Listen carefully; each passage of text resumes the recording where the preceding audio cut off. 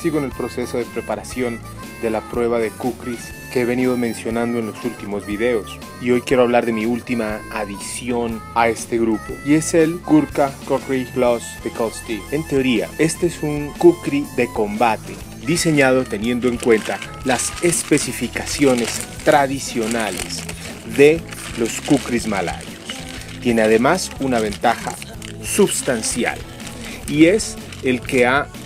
mantenido las dimensiones muy parecidas a los Kukris originales. En otras palabras, es una versión moderna del M43.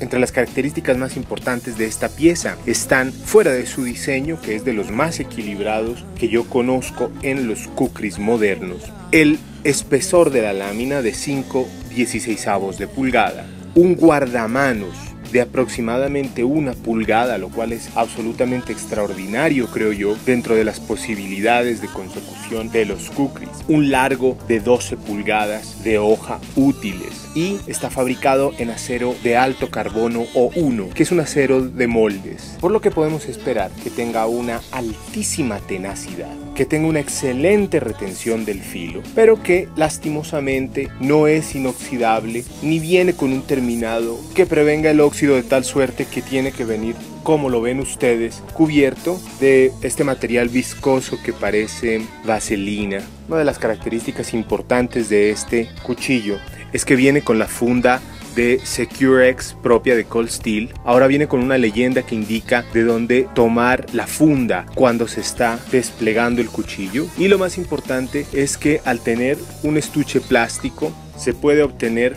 un excelente seguro y al mismo tiempo se mantiene seco el cuchillo en la funda.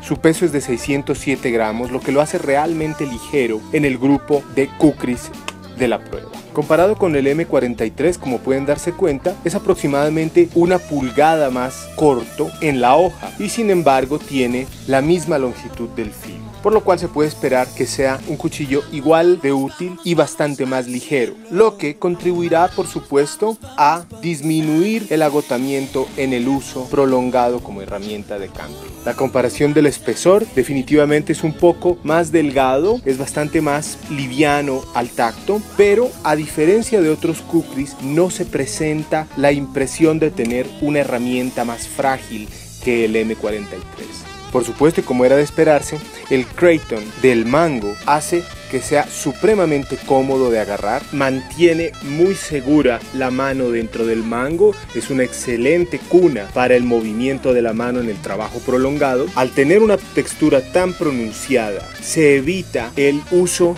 de guantes en el camping, aunque generalmente en las caminatas es aconsejable llevar todo el tiempo los guantes y definitivamente una vez más la adición de el guardamanos es algo fundamental como una herramienta de trabajo. A diferencia de los kukris tradicionales, al tener una herramienta producida industrialmente, se puede esperar que incorpore una perforación para la dragonera, la cual es bastante útil, aunque el cuchillo siendo tan ligero y tan ágil, en realidad diría yo que no la necesita. Otra de las herramientas que vale la pena resaltar en comparación es el kukri machete de la misma marca Cold Steel ya que este ha sido probado ampliamente en muchos escenarios, destacándose en todos, en especial por su reducidísimo precio. Ambos vienen de la misma marca, ambos tienen una diferente orientación, de la que podemos decir que el Gurkha Kukri tiene una orientación táctica y multipropósito, mientras que el Kukri Machete es casi que netamente un cuchillo de trabajo. Los terminados, por supuesto, lo confirman. Como lo he dicho antes, el Kukri machete viene sin afilar, mientras que el Gurkha Kukri viene listo para usarse, pero comparten una característica muy importante en ambos y es